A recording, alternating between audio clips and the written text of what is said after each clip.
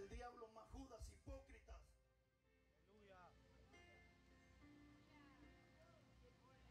Cristianos, hermanos, pestosos a diablo, que aún dentro de iglesias evangélicas celebraron ese basural del diablo.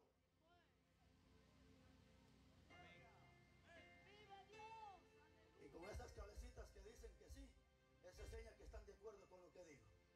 Que ahí digo yo que unas cabecitas dicen sí, como quien dice, y les- ya les pegó. Ahorita les va a pegar a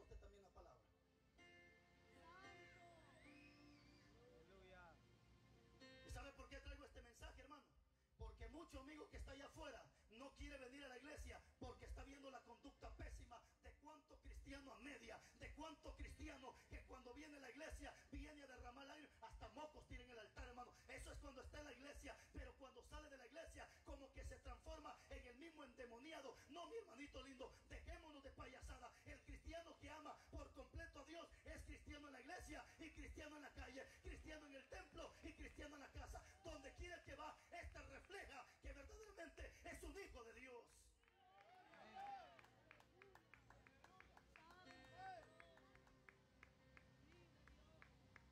Cuando se empiezan a amar las cosas del mundo, es cuando el, amor de Dios empieza a salir del corazón.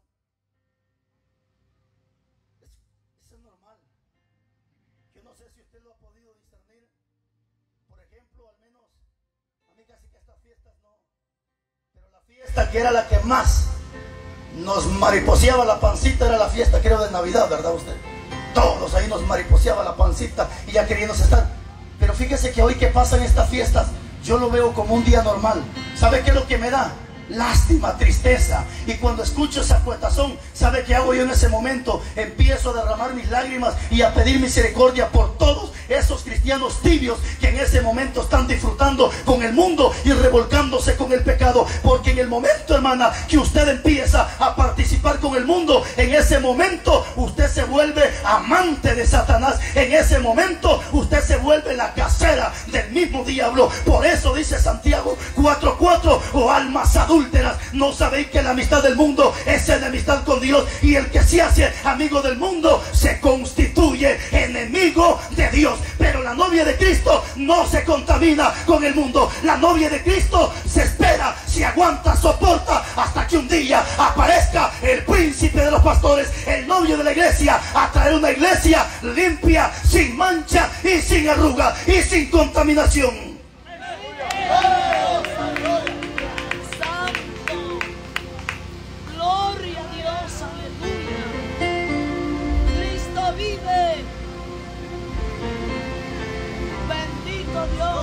Aunque no esté de acuerdo usted con la palabra, como hay gente que cuando es culto de acción de gracia quieren que a ley fuerza uno predique un tema de acción de gracia y todos estos sinvergüenza que solo vienen a comer, ¿quién les va a predicar? ¿Quién les predica?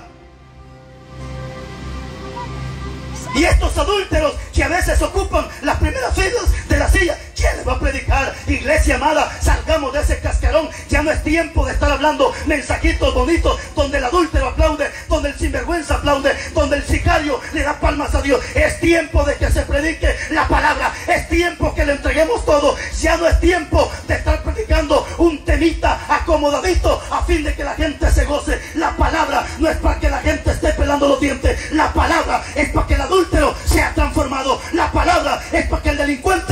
convierta al evangelio. La palabra es para que el brujo deje la brujería y se venga Jesucristo. Aleluya. Santo. Gloria a Jesús. ¿Ya vio?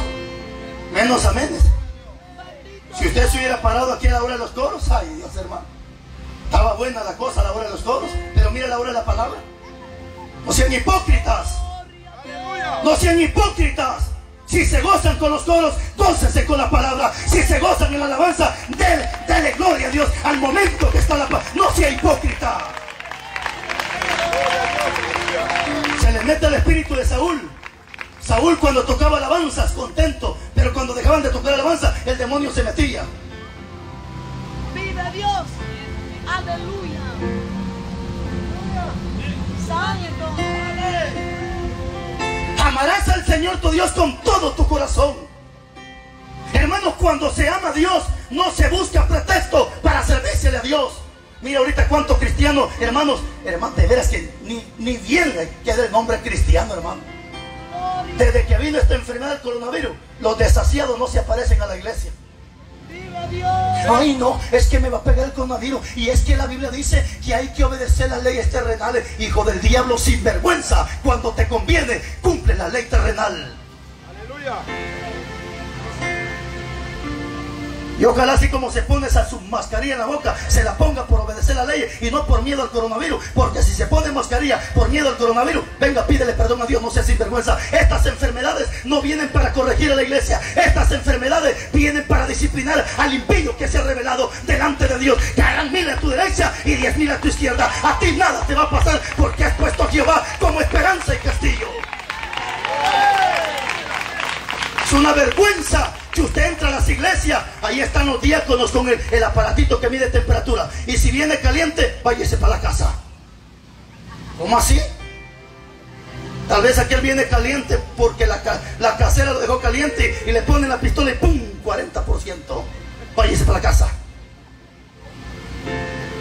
Y lávese las patas con cloro y que eche ese gel en la mano y pase para el culto. ¡Qué desgracia! ¿Hasta dónde llegó la iglesia de Jesucristo? ¡Qué desgracia! Es cierto, mis hermanos, las leyes terrenales fueron puestas por Dios. Es cierto, pero en la Biblia yo encuentro hombres como Daniel que cuando el rey dijo, van a adorar todos esa imagen, este hombre dijo, sí, aunque es una ley por el rey, pero esa ley a mí no me corresponde. Y aunque todos se arrodillen delante de esa imagen, yo voy a adorar al Dios que hizo los cielos y la tierra. Y eso fue motivo de que lo metieran al foso de los leones.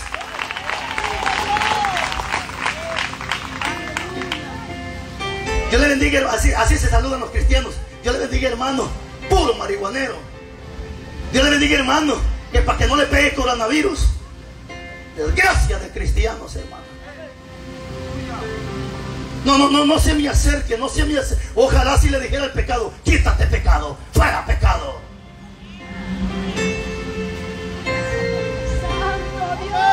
Dígale al que está a su lado, si te enojaste o si te enojas, dígale, tu papá se llama diablo. Dígale, dígale, si te enojas, tu papá se llama diablo.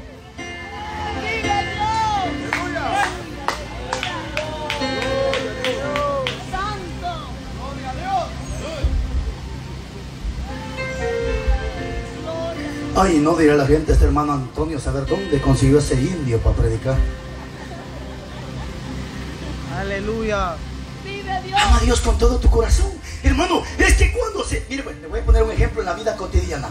Cuando los dos se aman con el novio y la novia. Ay, Dios, hermano. Uno no quiere que el reloj pase. Ahí quiere estar el novio chupándole la lengua a la novia y la novia le chupa la lengua. Y cambiando bacterias, intercambiando bacterias los dos. Porque están enamorados los ingratos. Mire, hermano, ah, está lloviendo. Ahí están los dos viendo la luna y las estrellas. Porque se aman los ingratos. Y no se quieren despegar. Porque se aman. Y así es cuando se ama a Dios. Uno no se quiere despegar a Dios. Uno ahí quiere estar con Dios. Uno ahí quiere estar. Ay, Dios, pero cuando no se ama. A las cuatro empieza el culto, hermano. Doña Cuchufleta. A las cuatro y media viene llegando el culto. Y todavía con una suchoya, hermano. Aleluya. Al rato Don Pirulín no aparece a las 3 y 45, hermano. Y ya a las 5 ya se quiere ir para la casa.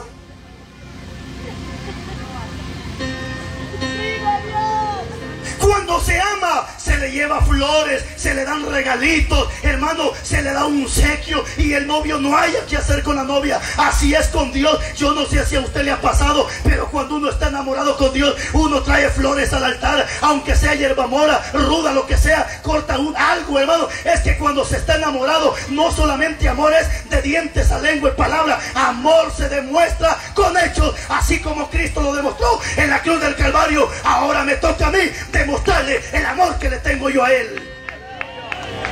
Te amo, papito, dice la vieja mañosa. Te amo, papito, viendo novelas, vieja mañosa. Y así dice que ama a Dios.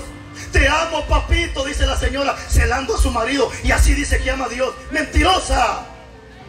Te amo, papito, dice la mujer, empantalonada con el pelo rojo, amarillo, mañosa, sin vergüenza. Usted no ama. Vive Dios.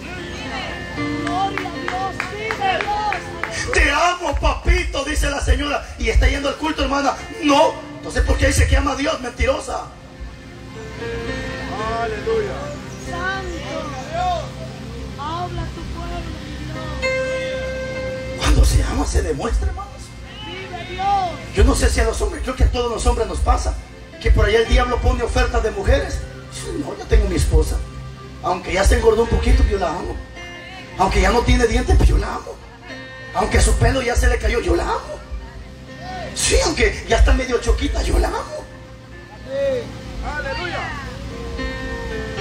Sí, es que cuando se ama no se está viendo pretexto, hermano. Y eso es lo que pasa en la iglesia. Por eso el primer mandamiento es amarás al Señor tu Dios con todo. Porque cuando hay amor hacia Dios, no hay espacio para amar a otra persona otra cosa en esta tierra.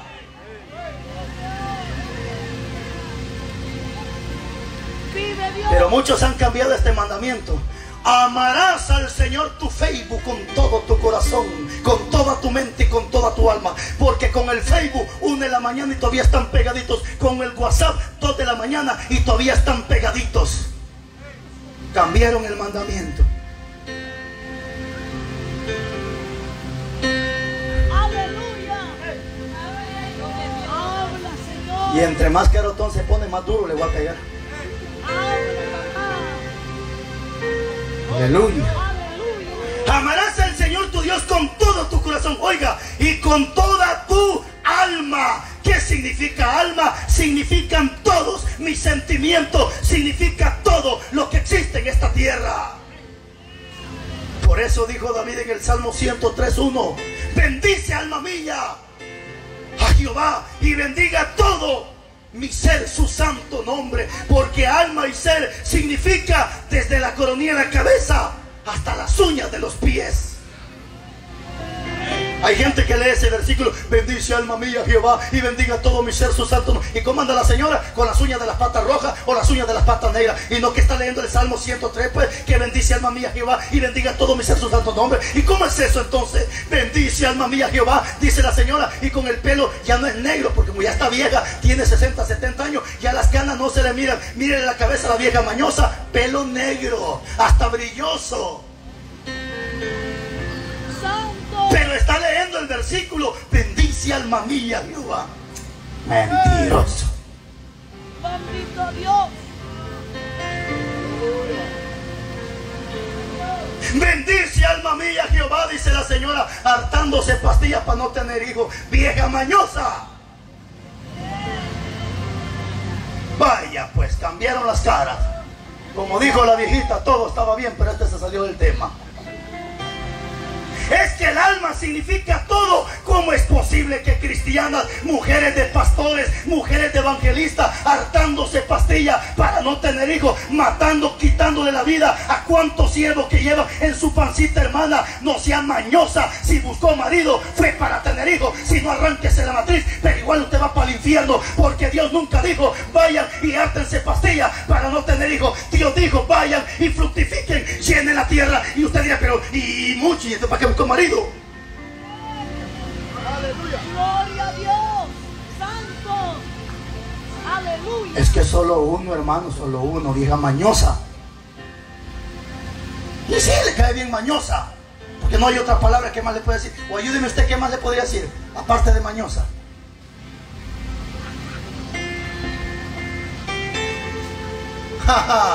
Pero pregúntele cuando.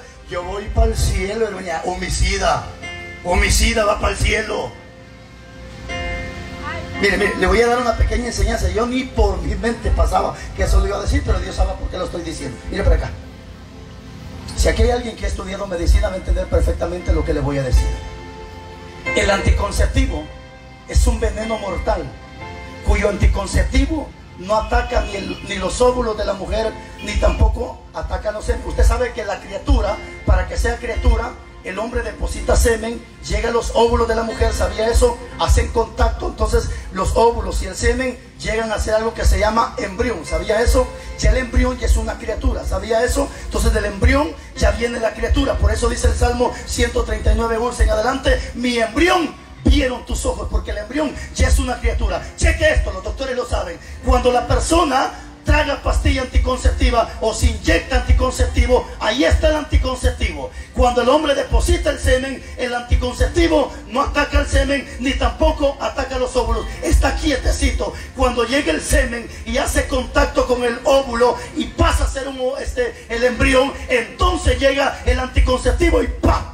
Ataca pero no atacó el semen porque el semen es nada, los óvulos es nada, lo que sí vale es el embrión, porque el embrión ya es una criatura y lo que ataca el anticonceptivo es el embrión de la persona. Ahora sí ya lo sabe. Si quiere siga tomando pastillas.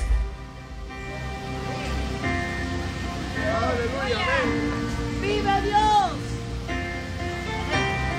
Amarás al Señor tu Dios con todo tu corazón, con toda tu mente, con toda tu alma y con toda tu fuerza y con toda tu mente. Hermano, es que Dios quiere todo.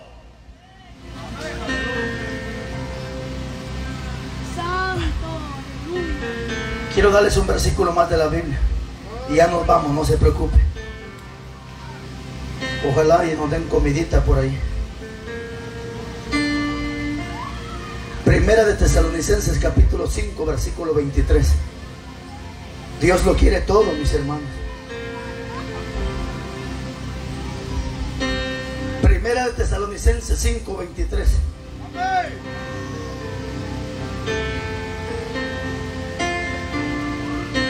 ¿Lo tiene? Mire qué precioso versículo. Y el mismo Dios de paz dice su Biblia, os santifique por... Ah, aleluya. No dice que nos va a santificar solo los ojos o solo el corazón. Y el mismo Dios de paz os santifique por completo, viene. Y todo, una vez más la palabra todo, y todo vuestro ser, espíritu, alma y cuerpo, dice su Biblia, se ha guardado irrepresible para la venida de nuestro Señor Jesucristo.